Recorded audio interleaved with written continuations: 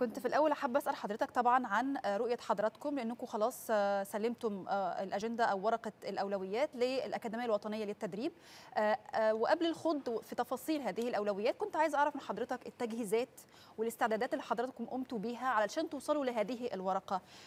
وإيه أبرز الملاحظات اللي أنتم تعرضتوا إليها وأنتم بتتوصلوا لهذه الورقة؟ تمام طيب إحنا بداية نبدأ بالرؤية يعني يمكن إحنا لينا رؤية في فيما يخص الحوار الوطني أو رؤيتنا للمرحلة الاولويات المرحلة القادمة وهي بتتمثل في العملية التكاملية ما بين الاقتصاد والسياسة.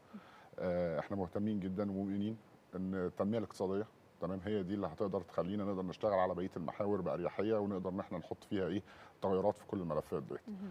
فمن هذا المنطلق ابتدينا نشتغل على من ساعة ما جالنا التكليف إن إحنا نشتغل بحاجة زي كده ابتدينا نشتغل على ثلاث محاور، أول محور منهم اللي هو ليه علاقة بالأمانات النوعية في الحزب وده ابتدى يطلع منهم مخرج، الأمانات النوعية في الحزب بتبقى زيها زي الوزارات هي تخصصات في كل المجالات وبيبقى قائم عليها ناس متخصصة جدا وفنية في المجال. الجزء الثاني ليه علاقة بالهيئتين البرلمانيتين بالنسبة للحزب ده اتعمل ورش عمل بالنسبة للهيئات وبالنسبة للتمثيل النيابي زي ما إحنا بنبقى عارفين بيبقى السادة النواب متواجدين في لجانهم معاصرين الموقف إيه اللي بيحصل فيه التطورات فبالتالي بيبقى في كل ملف عندهم زي ما بنقول عن قرب تمام إيه المشاكل وإيه الطروحات اللي نقدر نشتغل عليها. الجزء اللي إحنا بنعتبره مهم جدا وده هو ده اللي يمكن اللي بيخلف فكرة إن إحنا يبقى عندنا حوار وطني عن عندنا حوار ليه علاقة بالأحزاب اللي هي فكرة المشاركة نفسها بتاعة المواطن الطبيعي.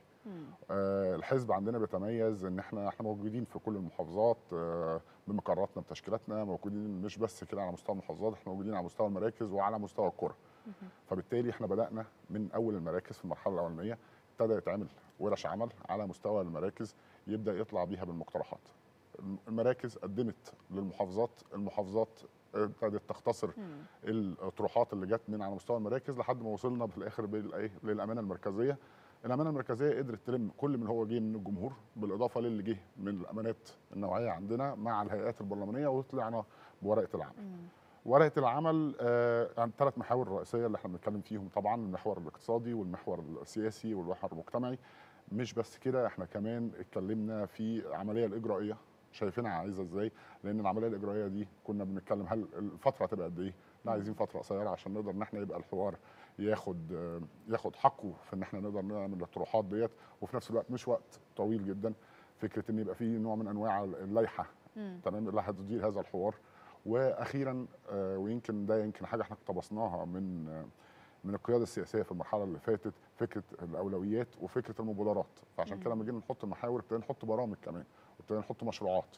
لأن إحنا بنيجي نشتغل النهارده على ملف آه ويمكن زي ما بقول لك إحنا اقتبسنا ده من خلال الثمان سنين اللي فاتوا حاجة مثلا زي الصحة مثلا كان في مبادرة 100 مليون صحة. فإحنا النهارده آه ملف الصحة إحنا عندنا فيه أولويات بس هياخد فترة طويلة عبال ما نبدأ إن إحنا نقدر إيه نشتغل على الملف ككل. فبالتالي فكرة المشروعات وفكرة المبادرات اللي بتخش في ملف ما تحل وتعالج حاجة من جذورها دي برضه إحنا إيه قدمنا بالمقترحات في حاجة زي كده عشان يبقى لو وصلنا لهذه الأولويات يبقى عندنا برضه في ملفات أخرى عندنا مشروعات نقدر نحل فيها. طيب سيادة النائب يعني خليني أتكلم مع حضرتك بشكل أكثر تفصيلا عن اللي حضرتك ذكرته. يمكن في بداية حديثك قلت إنه الرؤية اللي وضعتها أو وضعها حزب حماه وطن يعني يدور حول رؤية تكاملية اقتصادية سياسية. والبيان اللي صدر من الحزب إنه سيتم وضع حلول مبتكرة لهذه المحاور. عايزين نتكلم مع حضرتك ماذا تعنوا بالحلول المبتكرة. إحنا كده بنتكلم على حلول خارج الصندوق يا فندم. تمام. طيب آه حلول خارج الصندوق من في الجزئية الاقتصادية وهو ده اللي يمكن إحنا آه اقتبسناه من فكرة إن إحنا متواجدين مع الجمهور متواجدين مع ناس. آه وعندنا آه ناس مسؤولة عن الملف بشكل فني.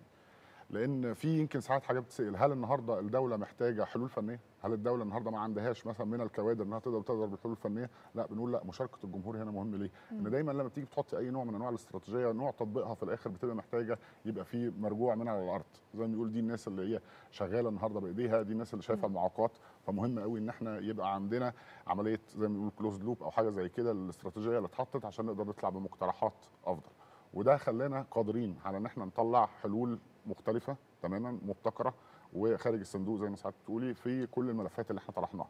وإن شاء الله بس إحنا لما جينا حطيناها عشان ابقى صريح معاكي اتحطت في شكل عناوين تمام؟ في المقترح.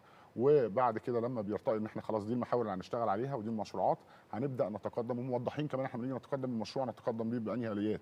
عن نتقدم بيه بالفترة الزمنية بالموارد المطلوبة زي ما بنقول بال KPIs اللي إزاي هيبدأ يتقاس عليها عشان خاطر نقدر نحقق حاجة زي كده. طيب سيد النائب الحزب أيضا تحدث عن آه، مشروع آه، كبير آه، خاص بالاقتصاد الأخضر وعلى مستوى عالي. والحقيقة إن النقطة دي مهمة جدا ليس فقط محليا ولكن أيضا دوليا بالتزامن طبعا مع استضافة مصر ال COP 27 آه، في نوفمبر المقبل بشرم الشيخ. حابة أعرف من حضرتك بس ملامح هذا المشروع وإزاي سيتم مناقشته أو حضراتكم رؤيتكم إزاي من خلال مناقشة هذا الملف في الحوار الوطني؟ طيب هو الملف يعني اللي إحنا بنقدر يعني نطرحه دلوقتي هو الملف اللي علاقة بالهيدروجين. تمام؟ وإحنا يمكن إحنا زي ما إحنا شايفين في الحتة بتاعت الانبعاثات الحرارية آه، والنهاردة إحنا كنا عندنا طبعا المؤتمر الدولي للشباب وكان بيستضيف أو الملف الرئيسي بتاعه كان العمل المناخي. وكمان بنجهز لكوب 27 آه، مصر ليها الرياده في التعامل مع هذا الملف. صحيح. تمام؟ والفكرة بتاعه الهيدروجين مختلفة شوية يمكن دلوقتي هي حديثة على مستوى العالم. مم. تمام؟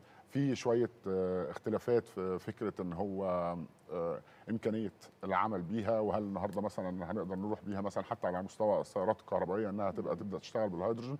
لا إحنا استغلينا ما هو متاح من موارد طبيعية في مصر بالأماكن اللي ممكن يحصل فيها هذا الكلام.